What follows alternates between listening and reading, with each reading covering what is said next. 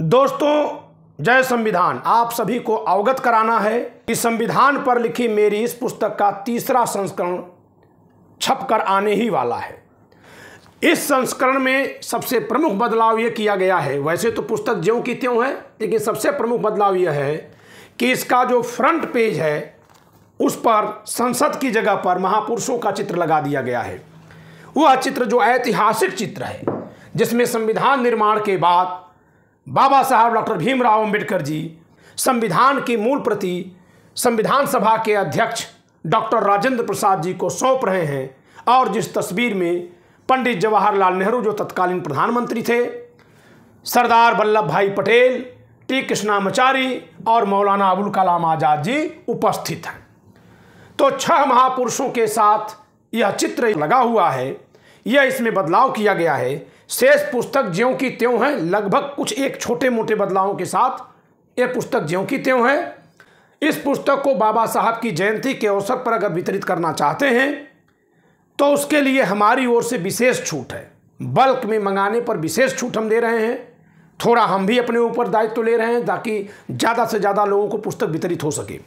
यह पुस्तक भारत के सभी लोगों के हाथों में जानी क्यों ज़रूरी है? क्योंकि यह पुस्तक हाथ में रहेगी तो मैं रात नौ बजे जो लाइव में क्लास लेता हूँ, उस क्लास से भारत के संविधान को समझना बहुत आसान होगा।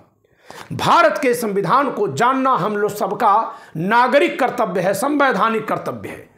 जो संविधान हमें इतना कुछ देता है, जिस संविधान के लिए आज़ादी की लड़ाई लड़ी गई, जिस संविधान को इन महापुरुषों ने लिखा और चलाया लागू किया राजतंत्रात्मक सत्ता को हटा करके संवैधानिक सत्ता के अनुसार देश को चलाया।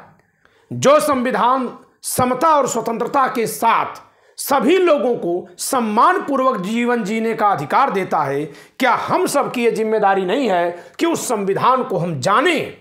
न्यूनतम ही जाने। जितना हम समझ सकते हैं उतना ही जाने। लेकिन जाने ये बहुत ज़रूरी है दोस्तों। और जब हम इस संविधान को जान जाएँगे कि इसमें क्या लिखा है तो इससे होगा क्या? भारत में लोकतंत्र मज़बूत होगा। नेता और लोक सेवक अपने पद की हनक में नहीं रहेंगे, बल्कि जनता की सेवा में निरत रहेंगे। दरोगा, सिपाही और टिकट कलेक्टर या किसी यूनिवर्सिटी का वीसी ये अपने दायित्व के अनुसार कार्य करेंगे, न कि शक्तियों का दुरुपयोग करेंगे। और तब हम सब भी अपने वोट की अहमियत समझेंगे, उस व्यक्ति को आगे बढ़ाएँगे, जो संविधान में विश्वास रखता हो, जो संविधान को आगे बढ़ाने वाला हो। इस तरह से अगर हम एक दो वर्षों में क्रांति जगा ले गए भारत भर में तो आपको मैं बता रहा हूँ दोस्तों कि अगले पाँच वर्ष में भारत संविधान की महत्ता को अगर समझ गया तो इतना आगे जाएगा, इतना आगे जाएगा कि हम आप उसकी कल्पना नहीं कर सकते।